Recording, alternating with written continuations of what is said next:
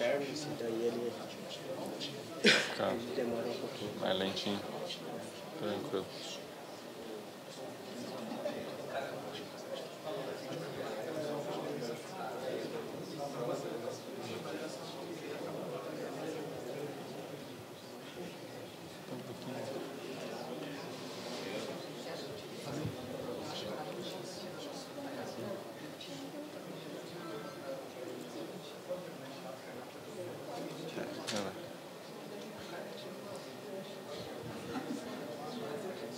É, nesse, nesse daqui. Esse pequenininho. Chique. Tá legal? Bom. Pego só te apresentar, a gente já. Bom, pessoal, só apresentar aqui o Leandro Mendes. Ele vai falar aí um pouco de data warehouses com banco de dados no SQL. Acho que bem bacana aí para melhorar o processamento, né? Vamos lá. Bem-vindo aí. Boa tarde, pessoal. É... Prazer estar aqui. Estou muito feliz de estar nessa conferência e, e a minha humilde apresentação ter passado. Espero poder agregar um pouquinho aí conhecimento para vocês. Tá? Bom, qual é a agenda? Primeiro eu vou falar um pouquinho de mim, que é o que eu mais conheço, e depois eu vou depois eu vou falar um pouquinho sobre Data Warehouse no mundo de Business Intelligence, é, dar um overview rápido sobre o Cassandra, alguma coisa mais rápida ainda sobre Spark, porque já tivemos várias pessoas aqui falando sobre Spark. Inclusive ontem teve uma palestra muito boa, se não me engano, do Felipe, é, que ele já passou bem por cima disso daí também. E eu vou falar sobre como criar data warehouse nesse novo ambiente que é tão diferente do que a maioria das empresas, a maioria dos lugares estão acostumados, tá?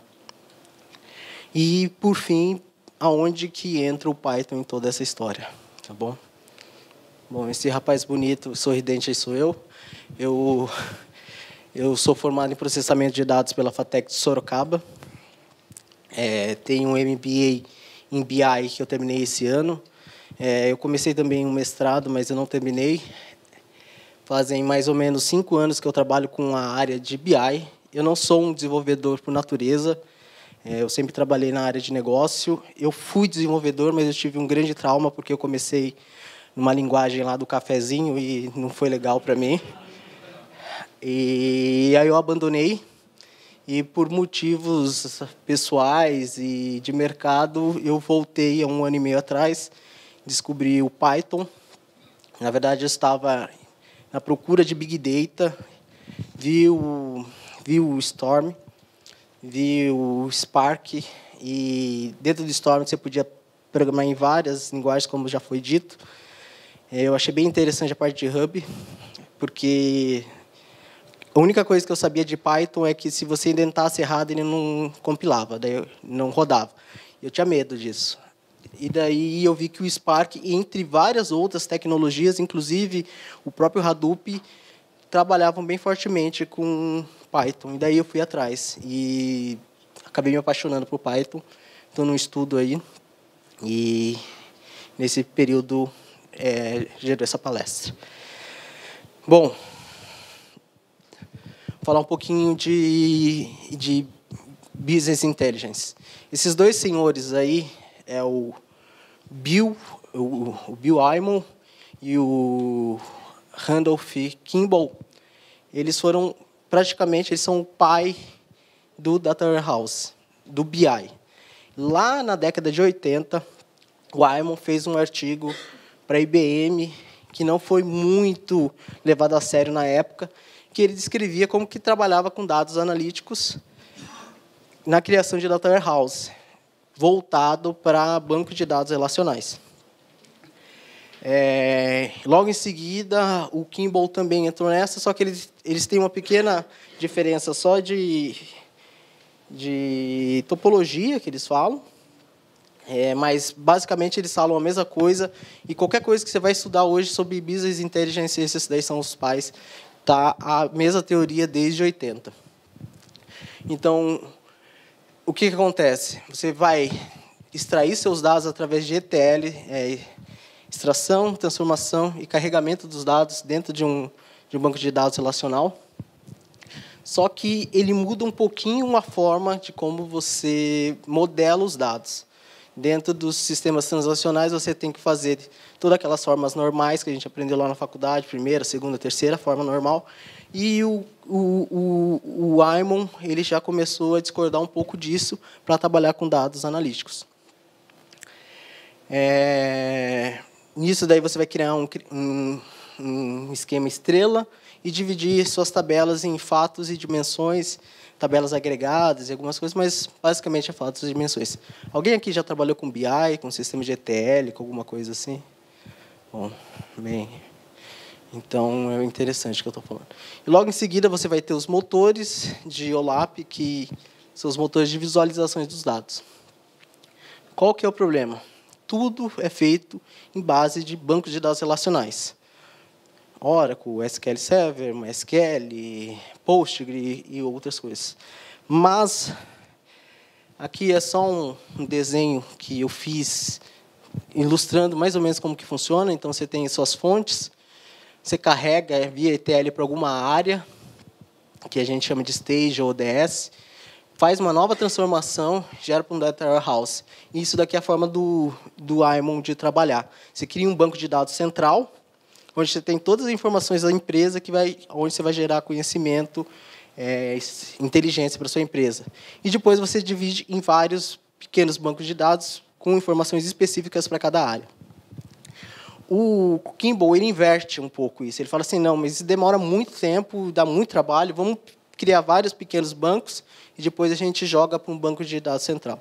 Mas a modelagem é sempre a mesma coisa. Você tem as tabelas fatos ali, no centro e as dimensões de lado. E depois você tem os motores OLAP e os dashboards da vida para você gerar informação. Qual que é o problema?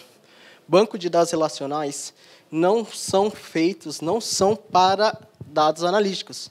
Eles foram desenvolvidos para dados transacionais.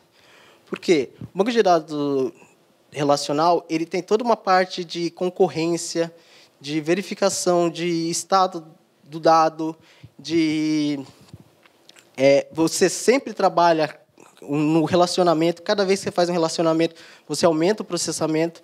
Então, foram se criadas várias gambiarras ao meio do desde 90 até agora para a gente resolver isso. Mas, na minha opinião e de muitas pessoas aí, é, o banco de dados relacional não foi feito para isso. É, Nesse meio tempo, nos últimos anos para cá, surgiram os bancos de dados NoSQL. Todo mundo aqui conhece banco de dados NoSQL? Tem alguém que não sabe o que é? Bom, facilita um pouco. O Cassandra é um banco de dados NoSQL da família de colunas, porque existem vários tipos de bancos de dados NoSQL. Existe bancos de dados orientado a grafos, tem bancos de dados orientado a documentos, que é o MongoDB, entre outros. É, e o Cassandra é orientado a colunas, sempre baseado em chave-valor. Você tem uma chave e o resto tudo para ele é valor. Então ele trabalha com hash na chave, onde ele consegue endereçar e fazer toda a parte de, de armazenamento baseado nessa chave.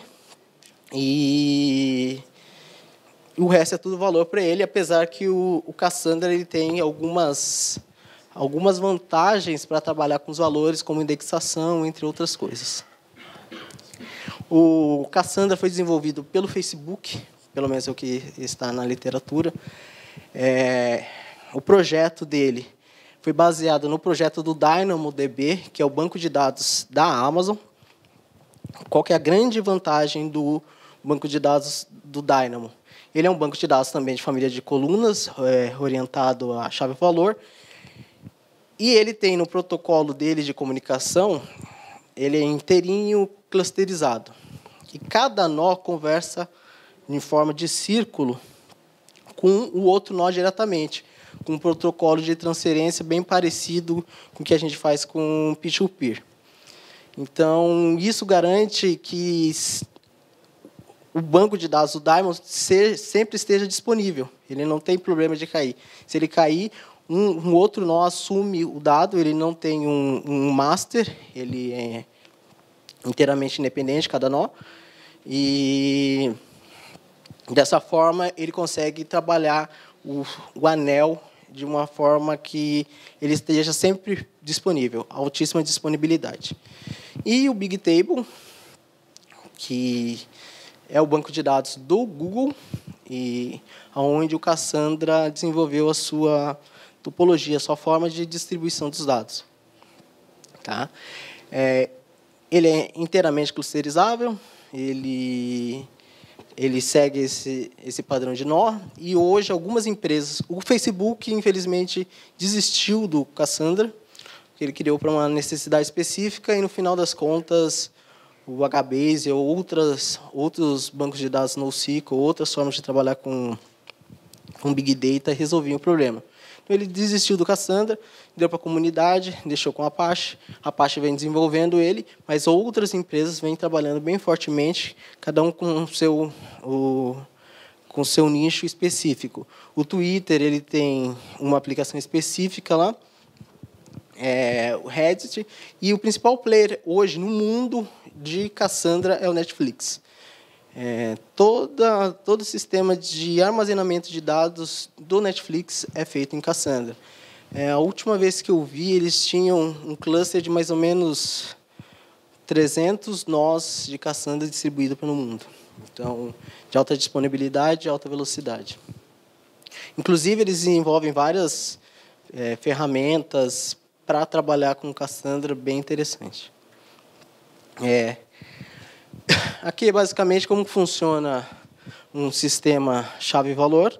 Você tem a chave aqui, todo o resto é valor. Como o Cassandra é um, é um sistema desenvolvido em família de colunas, ele deixa, ele grava todas as colunas com um valor específico.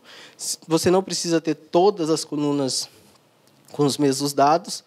É, a diferença do Cassandra para alguns bancos de dados é, de família de colunas é que você tem que declarar ele, você tem que dar um create table e saber quais as colunas que você vai ter, muito próximo de um banco de dados relacional. O que é diferente do HBase, que ele, ele não tem, é, ele não precisa disso. Ele, você só declara a chave e o resto tudo é coluna para ele. Você pode inserir os dados em real time. Aqui é uma aplicação da DataStax, que é uma empresa que vem desenvolvendo o Cassandra. Esse é uma aplicação para gerenciamento e aqui um exemplo de como que funciona um cluster de Cassandra. O primeiro nó fala com o anterior e o próximo. Você pode acessar qualquer nó deles e todos eles vão responder a mesma coisa para você. Tá? É, mas nem tudo são flores com bancos de dados NoSQL. Né? A primeira coisa é que eles são NoSQL. Eles não têm relacionamento, não têm junção.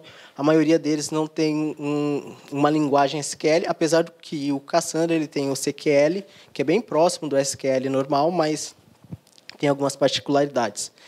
É, a grande parte dos bancos de dados ele não busca nenhuma informação fora da chave. O Cassandra resolveu isso daí indexando é, o campo que você precisa buscar e criando subchaves para fazer ordenação, entre outras coisas. Mas para você trabalhar com ele no dia a dia para busca de dados, para você fazer analytics com informações com é, colunas específicas que você não indexou ou que você precisa indexar, você aumenta muito esses dados. Então, é, é um problema isso. Ele não garante a concorrência também. O que, que é isso? Se você acessar um nó do Cassandra, num determinado tempo, e uma outra pessoa acessar um outro nó, as informações ali podem estar divergentes, porque ele, ele leva um ciclo de tempo para distribuir os dados por todos os nós. Então, não tem como ele garantir a concorrência. Ele não faz igual um banco de dados relacional que trava o registro e o, aquele valor é exatamente aquilo que está lá. Então, ele não garante concorrência. E ele fala sobre persistência eventual. O que quer dizer isso? Você joga o dado para o Cassandra. Se você for pesquisar ali naquele exato momento, dependendo do nó, pode aquele nó não ter o dado ainda. Então, em bancos de dados NoSQL, quando você trabalha com grande volume de dados, e a maioria deles é voltado para analytics, se você tem 2 bilhões de registros, se você perder um ou dois, não vai fazer tanta diferença assim para você. O que é muito diferente de um banco de dados relacional, que se você perder um registro daquele seu cliente, pode acabar sua vida, pode acabar seu negócio, pode ser processado, entre outras coisas. Então, é uma forma um pouco diferente de trabalhar. Mas muito boa, muito interessante para você trabalhar com analytics. O que, que resolve tudo isso? O Spark. O Spark já foi falado aqui. É alguém aqui não conhece, não sabe que é o Spark, nunca trabalhou. O Spark, não sei se vocês viram a, a apresentação agora passada, ele é um, é um sistema que nasceu no ambiente Hadoop, que foi desenvolvido pela Databricks, que serve para fazer processamento de dados em memory e distribuído. Qual que é a grande... Por que, que ele foi feito? Aqui está um processamento de um...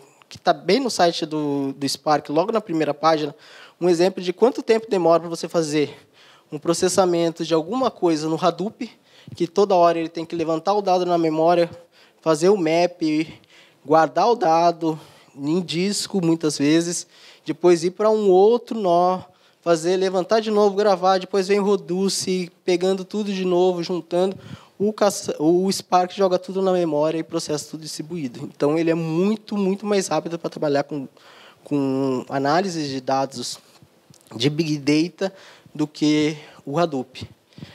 Só que ele não serve só para isso. Ele tem uma série de bibliotecas que facilitam muito a nossa vida. Uma delas é o Spark Stream, que foi bem discutido agora. Ele tem uma biblioteca que não se chama mais Shark, agora é, é Spark SQL em que você consegue trabalhar com SQL puro, que facilita muito a vida do usuário padrão de banco de dados relacional. Ele tem uma biblioteca de machine learning, o MLlib, que tem várias funções estatísticas bem avançadas, mas para falar bem a verdade, eu não trabalhei ainda nem com MLlib, nem com um GraphX, que é uma biblioteca para trabalhar com ele com gráficos, fazer análise de redes sociais, distância, entre outras coisas assim. E o processamento dele é inteiro clusterizado. Qual que é a grande vantagem? Você tem um dado dentro do Cassandra, você pode subir ele para em cima do Spark e fazer join. Pode fazer group by, pode ele trabalha com hoje, antigamente ele trabalhava com RDD, agora ele está trabalhando com a tecnologia que chama DataFrame, que é muito próxima do, do Panda, bem parecida mesmo. Então você pode fazer várias é, várias operações de analytics, de, de, de count, de estatísticas mesmo dentro do, dentro do DataFrame, e você pode usar o próprio SQL, que é bem, bem extenso mesmo, bem próximo do SQL ANSI 90, 92, 98. É, aqui é uma explicação de como eles trabalham junto. O Spark, naturalmente, ele trabalha ou com Mesos ou com, ou com o próprio Hadoop embaixo para fazer o processamento. É, ele usa bibliotecas do Hive, usa bibliotecas diversas. E para você trabalhar com o Cassandra, como foi dito hoje, é, você precisa de um conector. É, esse conector está sendo desenvolvido pela DataStax, que é o principal, o principal player que está contribuindo nisso. Ele é open source, está lá no GitHub, mas quem desenvolve mesmo é a DataStax. Tanto que ele tem um módulo desse conector para um, um banco de dados, que é o Cassandra puro, só que a DataStax vende como, como embarcado. É, qual é a melhor topologia de você trabalhar? Esse conector para cada nó de Cassandra que você tem, você cria um nó de Spark embaixo e um conector junto. É, assim, cada nó conversa diretamente com o seu nó respectivo. Então, o nó do Cassandra aqui conversa com o mesmo nó do, do Spark. Isso traz um problema que o Cassandra, para ele rodar, ele precisa pelo menos de 8 GB de memória. E o Spark também. Então você tem que ter uma máquina de no mínimo 16 GB de memória para você conseguir processar. Mas você tem que lembrar de que você está trabalhando com grande volume de dados. Então faz muito sentido. É, qual que é a, a, a topologia sugerida? Você faz um trabalho, a persistência dos dados dentro do Cassandra, sobe ele para dentro do, do Spark. O Spark ele resolve o trabalho lá. O Spark tem um pequeno probleminha que ele, é, ele tem um master, ele está ele tá marcado aqui, mas qualquer nó pode se tornar master em qualquer hora. É só você mudar um arquivo de configuração que ele vira master. Depois de você fazer o trabalho, você persiste de novo no Cassandra. Então, é bem tranquilo a forma de trabalhar. O que é muito próximo do pessoal que trabalha com, com BI, Business Intelligence, com, com Data Warehouse, que é extração, transformação e carregamento. Certo? É, qual que é o grande pulo do gato aí? Se trabalhando com essa tecnologia, você tem uma tecnologia altamente extensível. Hoje, para você trabalhar com data warehouse, o que, que você precisa, o que, que você faz hoje para você trabalhar com grandes volumes de dados? A maioria dos bancos de dados relacionais ele não consegue clusterizar de forma simples. Ele clusteriza com quatro, com cinco nós, com muito custo, com seis já está já tá chorando e é muito caro. Outra forma é você comprar um appliance. O que é um appliance? É uma máquina que vem super power ultra, que já vem com um banco de dados específico para data warehouse, como Exadata, Teradata, Netisa, e que custam simplesmente milhões de, de dólares. Então, não é para qualquer um trabalhar assim. Para você ter esse, esse poder de processamento, com processamento distribuído, com o Spark e Cassandra, que você pode colocar em qualquer máquina que tenha 16 GB, você pode juntar vários várias máquinas heterogêneas, não, importa a marca, não importa o modelo, desde que ele tenha 16 GB de, de memória, e você pode subir isso em nuvem e ter o mesmo poder de processamento de uma empresa que gasta milhões de dólares para trabalhar com um appliance. É, outra coisa que é muito interessante que você está trabalhando, se você trabalhar nesse modelo, você está trabalhando com dados em memória. Então, você pode fazer é, discovery, você pode fazer data science de forma bem tranquila, porque você tem todas, as, todas aquelas ferramentas. É, outra grande diferença que foi, que foi sugerida lá no começo pelo Kimball, pelo Aymon, é a não normalização. O que acontece com a normalização? Seu banco de dados fica maior. Mas no conceito de Big Data, quantidade não é o problema. É, armazenamento é barato, o que é caro é processamento. O que é caro, o seu cliente esperar dois dias para sair um relatório. Isso daí é muito caro. Armazenar HD é barato. Então, quando você faz a desnormalização, você vai ter redundância, mas isso não é o problema, porque você vai é muito barato você distribuir esses dados. Então, é uma outra forma de pensar. O pessoal de, de, de database padrão que aprendeu lá a normalização dá pulos quando é, ouvem falar nisso, mas é uma outra forma de pensar. Outra diferença também é que, em vez de você trabalhar com ETL, você trabalha com ELT. Em vez de você carregar o dado, fazer uma transformação, limpar o máximo possível e colocar só aquele dado extremamente essencial que você pode ter jogado um monte de coisa fora, depois ter que fazer tudo de novo, algum, alguma outra visão, alguma coisa, você carrega tudo para o Cassandra ou para uma área e deixa lá. Vira um data lake. É um, seu, é um seu lago de dados lá e você trabalha com ele quando você quiser. Depois você vem, transforma e faz a sua visão, que é o que eu chamo aqui de, de tabela estrela. Então você cria um, um tabelão que você pode ver todos os dados. Que fica mais ou menos assim, quando você vai trabalhar. Aqui é o, o Star Schema padrão do, do Kimball e do Aymon, onde você tem a tabela fato e você tem pouca, mas você tem uma normalização aqui. Tem uns loucos ainda que criaram o Snowflake, que tem mais normalização e que dá mais trabalho ainda, mais tempo de processamento, mas diminui alguns poucos gigas de dados. Na, nessa abordagem, você cria todos os dados em uma visão única na sua visão, na sua, no seu fato ali, já com todas as dimensões que você precisa numa única tabela. O que simplifica muito o trabalho depois. Você só tem que trabalhar depois, tomar cuidado com a redundância, mas esse é um problema bem menor, principalmente para o usuário, do que ficar fazendo milhões de joins. Tá? Então, a arquitetura que eu propus, é, inclusive eu fiz um artigo científico que tem essa proposição de arquitetura, trabalha assim. Você tem as suas fontes de dados, seja elas quais forem, você pode trabalhar é, com dados estruturados, não estruturados.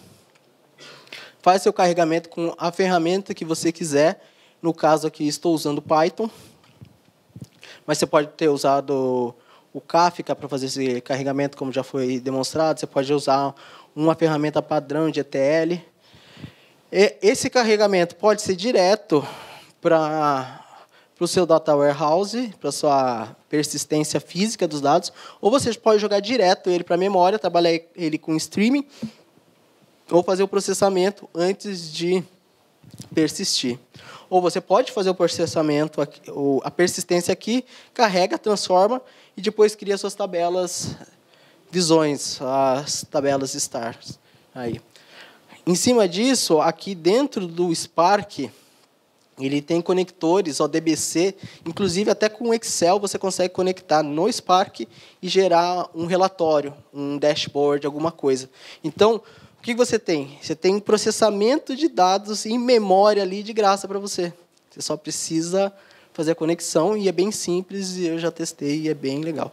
Essa parte da visualização dos dados, da camada de visualização, eu cortei da palestra porque não ia dar tempo, mas é bem tranquilo também. E o Python?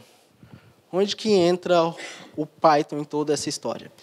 É, tanto o Spark quanto o Cassandra têm bibliotecas nativas dele, é, desenvolvido tanto pela, é, é, pela Databricks quanto pela DataStax, para fazer conexão em Python.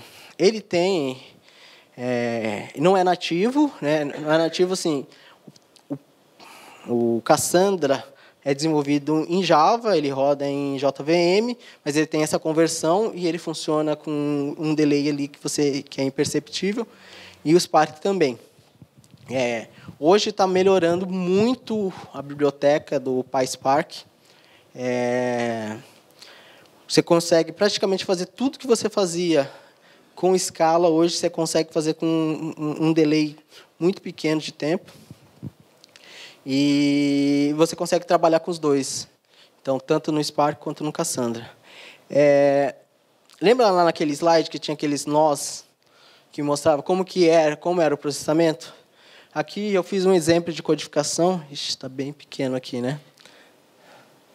Deixa eu ver se eu se eu consigo. Espera aí que eu vou abrir aqui. Ah.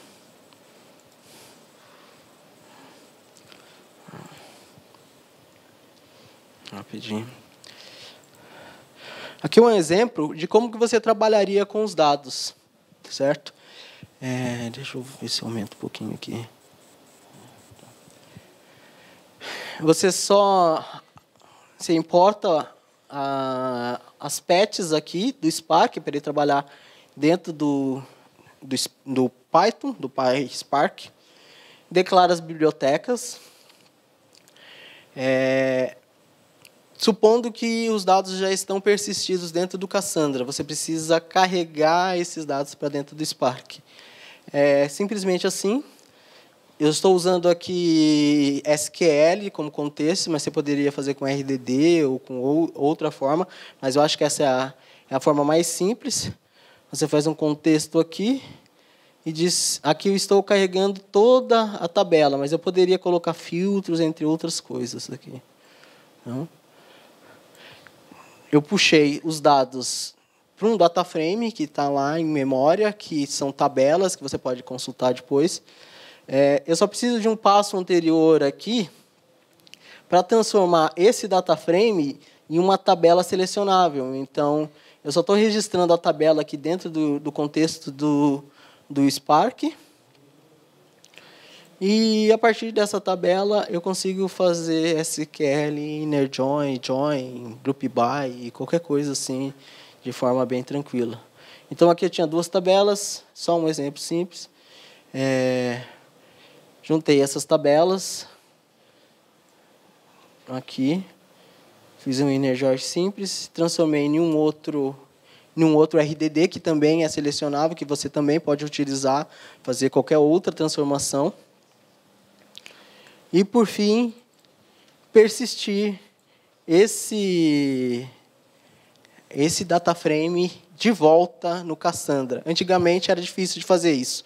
É, não dava para fazer, inclusive. Só, você só conseguia fazer isso com o, com escala. Você conseguia até trazer para a memória, mas você não conseguia persistir de volta no Cassandra. A não ser que você tivesse a versão paga da DataStax. Agora não. Agora com o Spark 15 e a nova versão do conector, você consegue persistir. Ai, dedurou. Você consegue persistir aqui de forma simples. Então, trabalhando com todo aquele conceito, você consegue criar o seu data warehouse e depois conectar com qualquer outra visualização, com Tableau, com qualquer outra coisa assim, e gerar sua visualização de dados de forma bem simples. É isso aí, gente. Espero ter agregado um pouco para vocês.